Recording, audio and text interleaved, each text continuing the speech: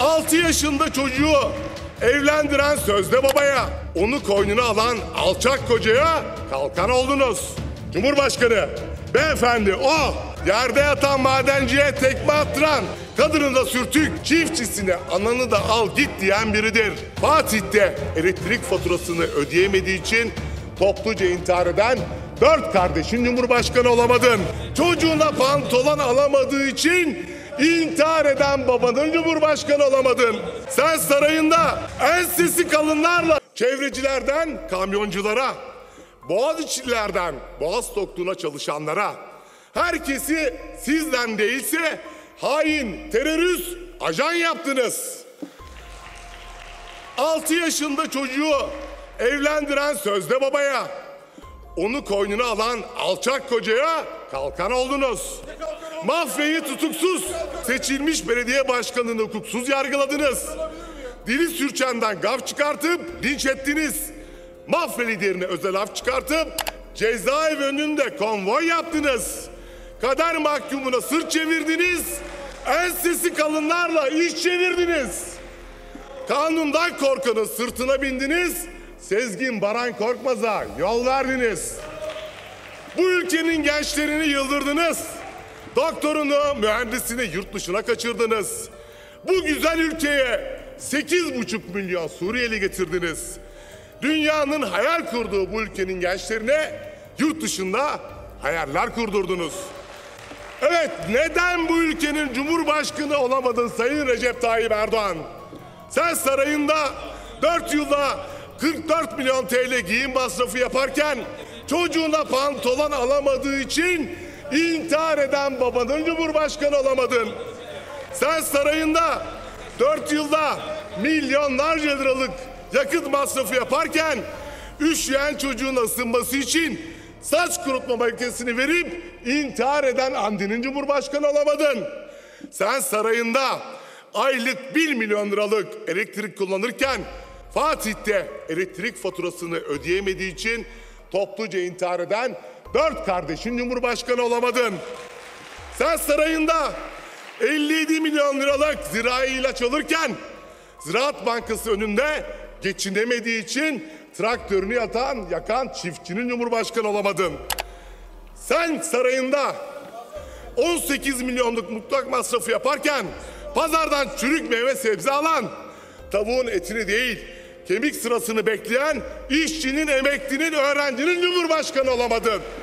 Sen 490 milyon TL'lik eşya yenileme gideri ayırırken düğün eşyası alamadığı için evlenemeyen genç çiftlerin cumhurbaşkanı olamadın.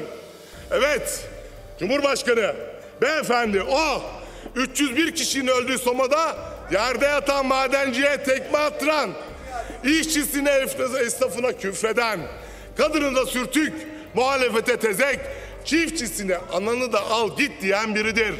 Partilidir ama Cumhurbaşkanı değildir. Cumhurun başındadır. Cumhurun başına beladır, derttir, tasadır. Bakın o kimin cumhurbaşkanı biliyor musunuz?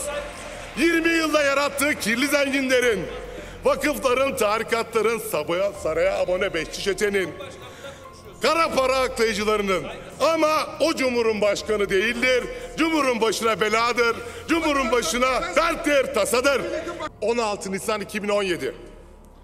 Rejime kasteden anayasa değişikliğinin öncesinde, sırasında ve sonrasındaki hukuksuzluğun, korku, endişe ve baskının o hal şartlarında değişen anayasanın tarihidir.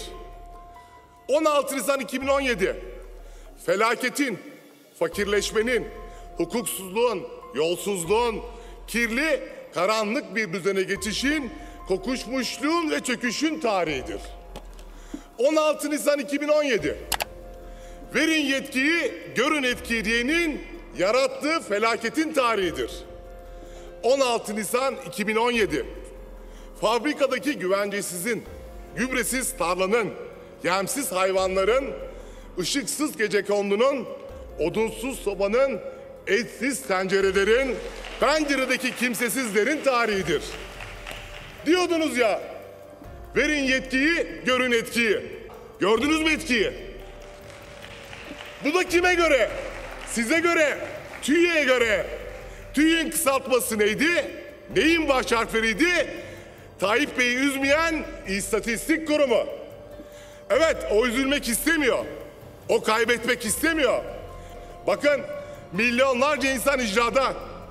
Milyonlarca insan tahliye davalarıyla mahkeme kapılarının eşiğinde. Vatandaşın dertleriyle dertletmeyenin son bir dönem daha yetki istemesi haksızlık, hadsizliktir. Değerli arkadaşlar, bu millet bu düzende varlığı görmedi. Ama milletvekilinin rüşvet sözleşmesi yaptığını gördü. Bir milletvekilinin nüfus ticaretiyle 180 milyon dolarlık kirli bir servet yaptığını gördü. Bakanların kendi şirketlerinden dezenfektan aldığını, kendi akrabalarına arsa verdiğini gördü. Kendi şirketine teşvik, kendi oteline tahsis aldığını gördü. En acısı kimselere de hesap vermediğini gördü. Siz bu ülkenin gencine iş, yoksulluğuna aş yaratmadınız ama mahkemelerinde yargılanan 13 milyon şüpheli yarattınız. Dünyanın en büyük cezaevlerini yaptınız. Yargıya güveni yüz ona indirip tuz koktu tuz diyen bir toplum yarattınız. Deniz, Hüseyin, Yusuf daha 20'li yaşlarda ülkesinin ve dünyanın en temel sorunlarını kendisine dert edinmişlerdi. Bu çocuklar yetenekliydi, zekiydi, yakışıklıydı. Türkiye'nin en iyi okullarında okuyorlardı. Ailelerinin hiçbir şeye ihtiyacı yoktu. Yaşasalardı hepsi zengin birer avukat, birer mühendis olabilirlerdi. Hayatlarını en iyi şekilde sürdürebilirlerdi. Ama emekten, halktan, işçiden, köylüden, haktan, adaletten yana tercihlerini kullandılar. Bir mücadele verdiler. Haklı bir mücadele verdiler. Ve dediler ki yaşasın tam bağımsız Türkiye Cumhuriyeti.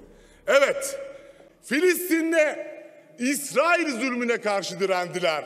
Bir resim göstereceğim bakın. Samsun. 19 Mayıs'ta bir yürüyüş başlattılar. Ne diyor? Tam bağımsız Türkiye için Mustafa Kemal yürüyüşü diyor. Kim yapıyor bunu? Deniz Gezmiş ve arkadaşları yapıyor. Kucaklarında Türk bayrağıyla yapıyor. Evet, 50 yıl önce junta vardı. Bugün daha beter durumdasınız. En azından o mahkemeler bir karar verdiği zaman zigzag yapmıyordu. Lanetliyorduk. Bugün Türkiye Cumhuriyeti'ndeki bir mahkeme Osman Kavala'ya beraat ettiği dosyadan ağırlaştırılmış müebbet hapis cezası veriyor. Tutuklandığı casusluk dosyasından beraat kararı veriyor. Ya junta mahkemeleri, sıkı yönetim mahkemeleri bu kadar ucube bir şekilde karar vermiyordu. Ama şunu o mahkeme bilsin. Ona o talimatı verenler, ona o hükmü yazdıranlar ve kendileri Osman Kavala hakkında karar vermediler. Kendileri ve o hükmü ona verdirenler hakkında bir karar verdiler. Gün gelecek, dünkü karar o beyefendilerin yüzüne okunacak. Söz veriyorum. Gezi bir onur hareketiydi. Bakın, Gezi bir şerefli çocukların hareketiydi. Bu çocuklara bugün terörist diyemezsiniz. Gezi deniz demektir. Yusuf demektir. Hüseyin demektir. Gezi zulme karşı tam bağımsız Türkiye, Türkiye Cumhuriyeti demektir. Gezi yiğitliktir. Hadi oradan onu kimin yaptırdığını ben biliyorum. Gezi Mustafa Kemal'e iki ay yaş diyen zihniyetin yüzüne tükürmektir yüzüne. O yüzden ben o çocukların bir kez daha önünde saygı